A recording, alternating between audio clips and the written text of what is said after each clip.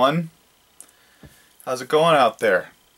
And today on Retro Davo, we're going to not be reviewing a specific game, but rather I felt because the NX is going to be coming out this year, the Nintendo NX, which I can't wait for. I'm really hyped to see what this thing is. Um, we're instead going to be debunking an old myth that has sprung up, which is why isn't Nintendo hardware powerful? Well, that's an old myth, I hate to admit, because the truth is, other than once in their history, Nintendo has always been the more powerful, or one of the more powerful. It's true. You want to see what I mean? I'll show you what I mean. Let's take a look. Okay, so here we are. And it all started with this thing. This is where all modern gaming systems owe themselves to. The original good old NES. And yes, this is an original NES from back in the day. Sadly, mine does not work right now, but I'm planning on getting it fixed. But that's not what we're here to talk about.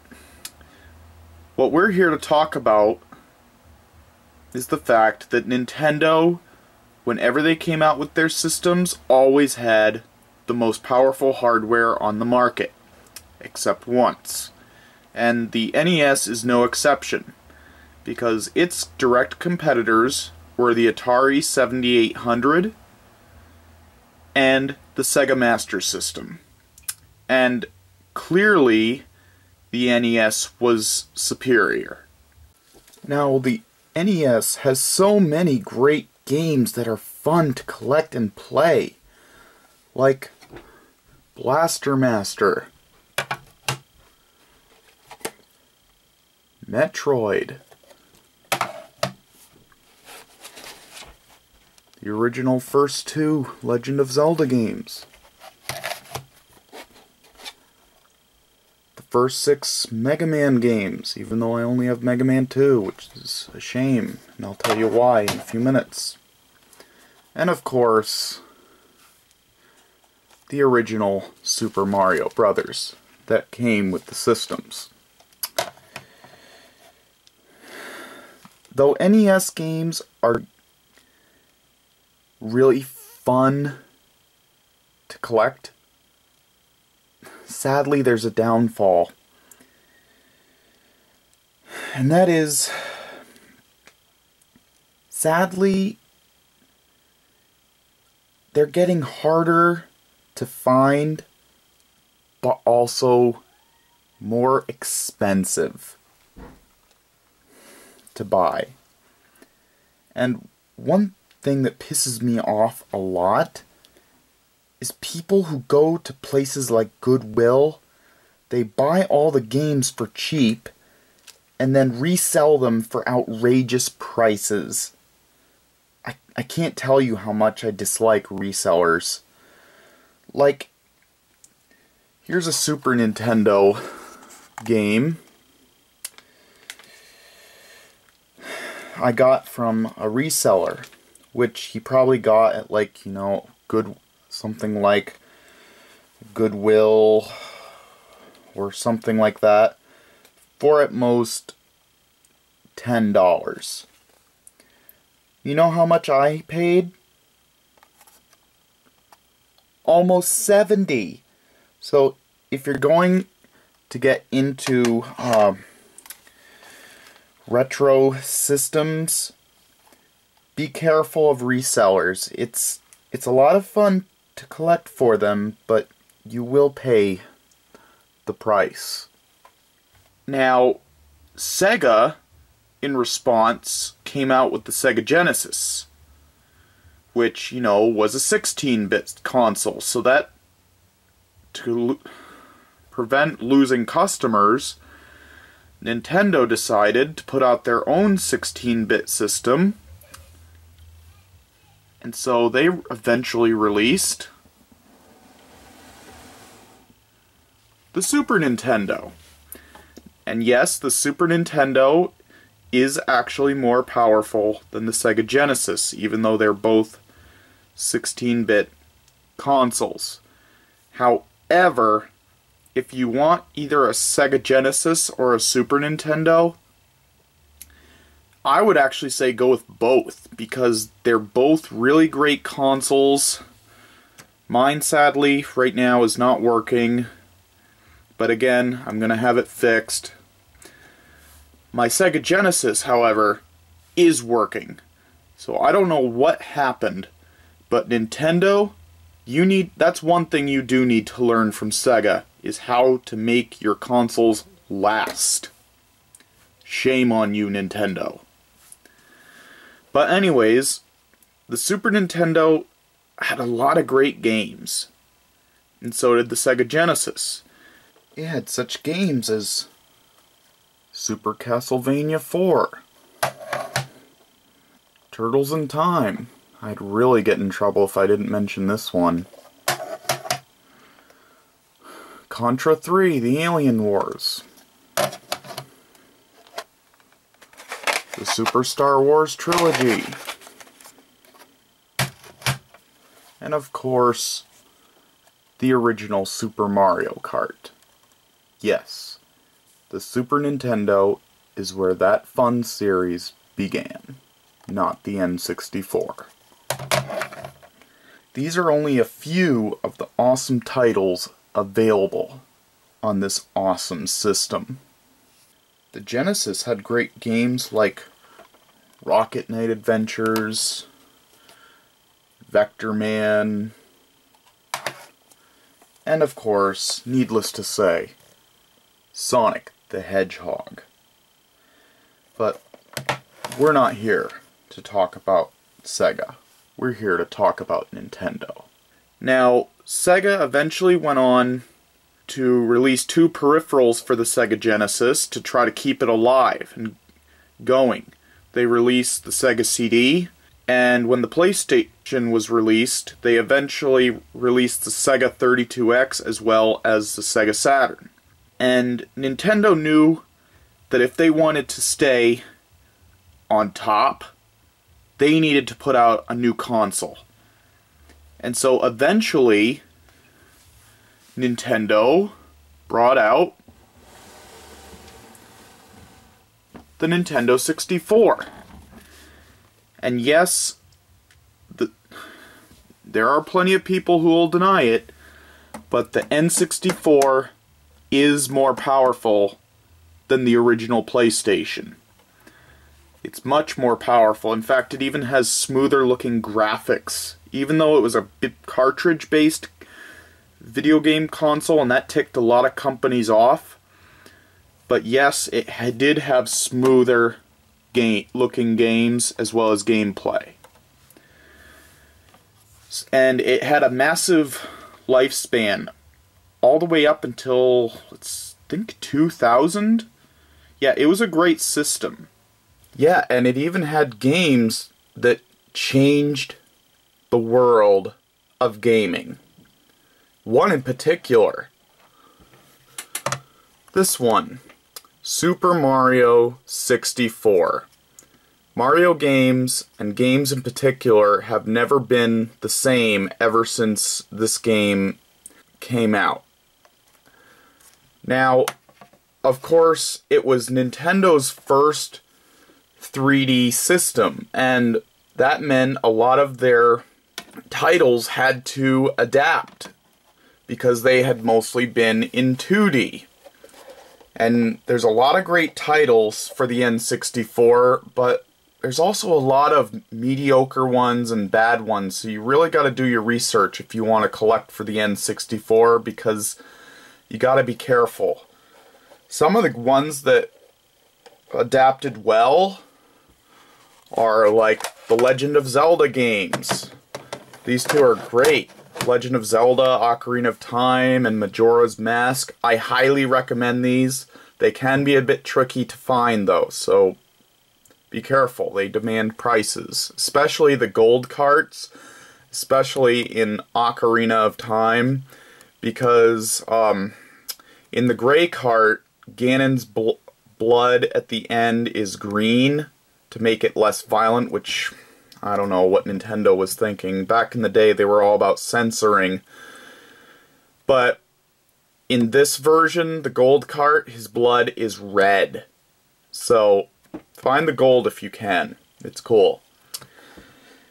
And of course, Super Mario Kart 64. One of the greatest N64 games by a long shot. And there's also some great exclusives to the N64. In particular, if I didn't mention these, GoldenEye 007 and Perfect Dark, which basically came out at the end of its life. Now, other great franchises that we enjoyed in the past on other Nintendo consoles did not adapt well on the N64. And this is why you gotta be careful. You can't base it off of strictly that this is a great franchise. You gotta do your research and find out if it's actually a good game. Like, Mega Man 64 is a good game, but it was also on the PlayStation as Mega Man Legends. And the N64 version is actually the smoother game, but it's pricey because it's somewhat rare. It's, as you can see, I had to buy it for $37, and again, damn resellers. But some of some of the games franchises that did not adapt well into 3D on the N64 were such games as Doom and most notoriously Castlevania. These games are like this one, it looks good other than it's way too dark. It's it's thank God there's a map in it cuz otherwise you'd never find your way around. But Castlevania, it should have adapted really well into 3D, but it just didn't. And that's really, really sad because it it was a great franchise, but its entry into 3D was a rough one. So yeah, I would skip on this one unless you really, really want to see what 3D was like in its beginning days or if you're just a die-hard Castlevania fan. So, but then something happened. The Sega Dreamcast came out. And that blew a lot of people's minds. And then the PlayStation 2 came out. So Nintendo, naturally, decided to do something. So they decided to release this bad boy. The Nintendo GameCube. And the Nintendo GameCube is more powerful than the PS2. However, it is not more powerful than the Microsoft Xbox. And I believe the GameCube was released before the Xbox. I'm not certain if I'm wrong. Please forgive me, but I believe it was. Now, one of the great things about the Nintendo GameCube is that they're not really in demand anymore. Nobody really wants them, so you can pick one up literally for next to dirt cheap for a console. So I highly recommend you get a GameCube. They're so underrated. And there's just so many great games for it. Some of the games you should try to hunt down for it. I don't have a huge collection, but I can recommend some. Like Mario Kart Double Dash. Great game. Possibly one of my favorites for the Mario Kart series. Resident Evil 4. And this, originally when it came out, was a GameCube exclusive. Even though eventually it came to the PS2, it was originally a GameCube exclusive. Metroid Prime is a great game. But not my favorite in the Metroid series. And if you want to know more about why and about my opinions on the Metroid series, you can go watch the very first episode of Retro Davo, where I discussed Other M, as well as the whole Metroid series. And then, Wind Waker. Legend of Zelda Wind Waker. This is one of the reasons to pick up a GameCube. Because this is an excellent Legend of Zelda game. It is so underrated. You should go find it. Pick it up. And, of course, The Legend of Zelda Twilight Princess. Yes, I know this is coming out for the Wii U soon in an HD remake, just like there was an HD remake of Wind Waker. But and I'll, i know a lot of you think that this was a launch title for the Nintendo Wii, but actually the Wii was just a port of The Legend of Zelda Twilight Princess for the GameCube, which was actually their last game for the GameCube. It was a goodbye to the GameCube because it launched the same time as the Wii version. So a lot of great games were released for the GameCube. It's a very fun system to collect for.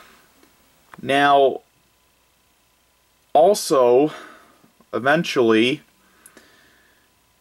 uh, it, the GameCube did not sell well. And eventually, you know, out came the PS3 and the Xbox 360.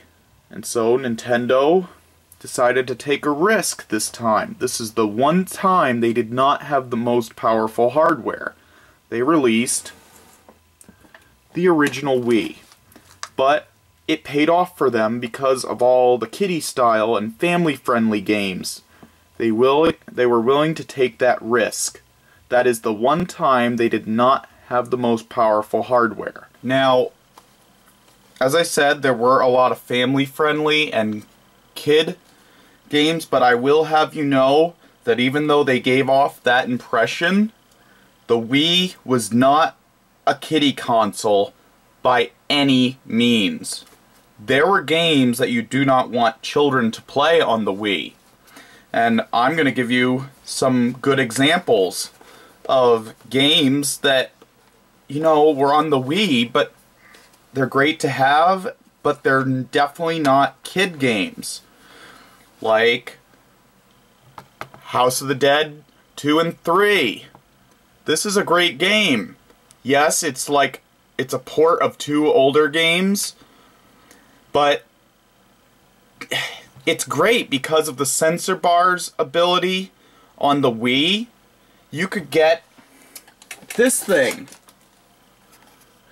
as I've said in my review of Chicken Shoot and Chicken Blaster, you could put the Wiimote in this thing called the Perfect Shot, and if it was required, you could use the nunchuck, attach the bottom, and you could use it like a light gun, which House of the Dead requires. Now, there was also House of the Dead Overkill, and this one you definitely don't want your kids to play because it is full of bad language. So it's a very adult game, so by no means is the Wii specifically for kids. And then GoldenEye 007 the remake. Now, a lot of people hate this game, and I don't know why. It could be because Daniel Craig is in it, and it's a lot like Call of Duty, but if you think about it, Call of Duty is just a lot like the original GoldenEye, so that's a really inaccurate argument to say that it's too much like Call of Duty. You should pick this one up. Metroid Other M came towards the end of the Wii's lifespan, and I'm not going to say too much about this game because I have a full review of it. It was my first Retro Davo episode, so if you want to know more about Other M, go watch it. This one's hard to find. Metroid Prime Trilogy has all three main Metroid Prime games, all reworked in the Wii's version of HD. Um, but it's very hard to find. It's it was released in limited amounts, but pick it up if you find it. And last but not least, the reason to have a Wii the Legend of Zelda Skyward Sword. Now, a lot of people criticized this game when it came out because of the way that you controlled and because of the way it looked, but I'll tell you, this is like one of my favorite Zelda games. And I thought the controls, I've beaten it, and I think the controls are amazing. You control him with the nunchuck, but the only thing that you do with the Wiimote, really, is you use the sword and your items. It's really a great game. So, as you can see, with all these games, except for Legend of Zelda, possibly, the Wii was not specifically a kiddie console at all. So, don't let someone tell you that because you have a Wii, you're you know, into kiddie games. Now, moving on from the Wii, the Wii U.